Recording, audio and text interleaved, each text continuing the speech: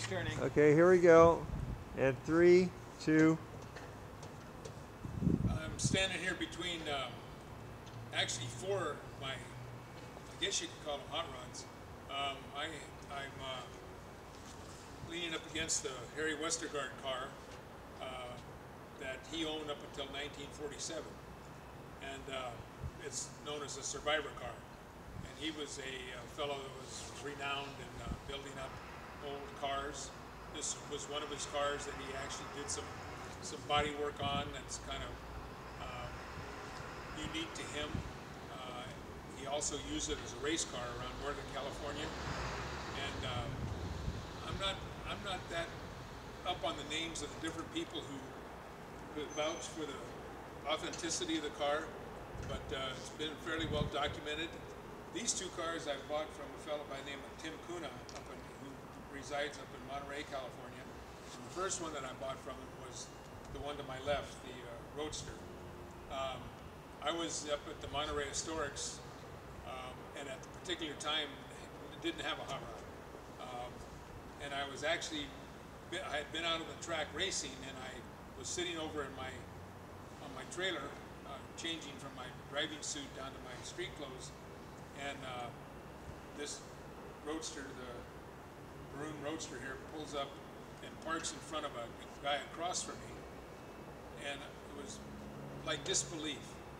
You know, I'd always wanted a 32 Roadster, an original piece, and uh, I, uh, as I looked up, I saw this thing raked just exactly the way I wanted it raked. Um, the uh, knockoff uh, magnesium wheels were everything that I ever wanted in a car, and I actually kind of put my hands in front of my eyes to make sure I wasn't seeing something.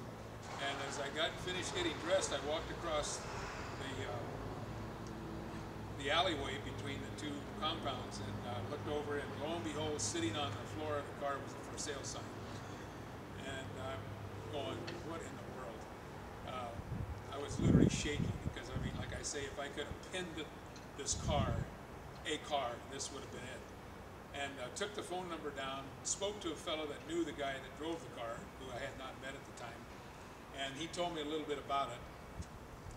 And I called the fellow up, and over a six-month period of time and different phone calls, and me trying to chisel him down on his price, I ended up buying the car for exactly what he told me he wanted for it six months prior to that, up at the, up, you know, shortly after I introduced myself to him on the phone up in Monterey. Um, total, I mean, people who enjoy hot rods enjoy these two cars um, from the from the fact of the originality of it. And you know, I haven't done all this Concours. Most of my cars are not Concours cars, and these two are perfect examples of that. You know, they got this mix and the scrapes and the bumps and the bruises and the war, the war stories and things like that. Um, wherever I take these, though, they always get comments from the true hot rod guys. Um, for instance, this one here, I had a show up in Santa Barbara about four months ago, and it actually won first in class. And uh, there's a gentleman there that was showing a car. It was like a Ferrari or something like that, and he's a friend of mine, and he sells cars. And uh, he was walking around and came over and noticed that this that had a sign in front of it with my name on it, and he came up to me and he says, "Tom, he said, I didn't know you had anything like this." And I said, "Yeah." I said, he says, of all the cars here, he says, this is it. He says, I can't believe you have this, you know, knowing your cars and stuff like that.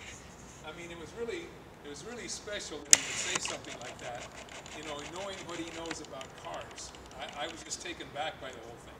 I mean, it's as original as you can get it. I mean, if I were to lift the hood, you'd see all the rust and everything that's running out of the, running out of the, uh, that has run out over the years from the radiator. Um, we did change, when I got the car, we did change the oil filter. But I mean, um, outside of that, it is as original as you, as you could, you can imagine. Um, I wished I knew, I wished I had in my, you know, head a little bit more about the car and the uniqueness of it. But in fact, that a Harry Westergard car really means a lot to me. The other, the other two hot rods that are not shown here, but uh, that I have are, I have a 1934 Ford uh, Phaeton, and uh, very original car.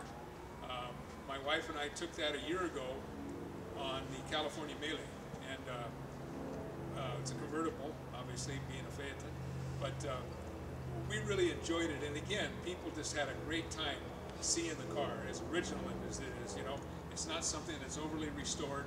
And the fellow that I bought that car from actually ran the car from someplace in Canada to Mexico City in the Great Race. And when I knew that about the car and had driven it around a little bit myself, I said, well, heck, I mean, if it can do the Great Race, it can do a thousand miles over Northern California. We had a really great time, um, you know, driving the car around, and we caught Northern California just at a great time. You know, it rained quite a bit that year, and uh, I mean, it was as pretty as I've ever seen Northern California.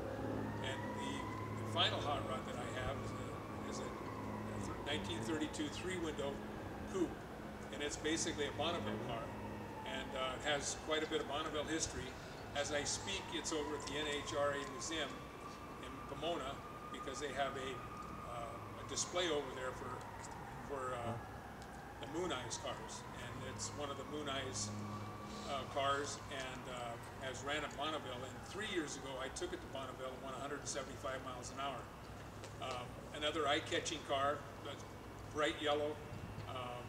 And the other nice thing about that car, along with the two that I'm between and the Phaeton that I told you about, they're all street legal, and I get to drive them around on the street. Now, the the Moon Eyes car, we have to put headlights on it, tail lights on it, and an alternator uh, to run those things, and so I can drive it around the street. And then when I take it to Bonneville, obviously all that stuff comes off. Uh, we have a we have a fan on the radiator, and uh, again, so I can drive on the street.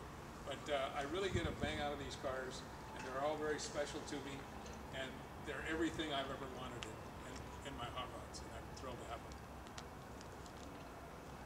And cut.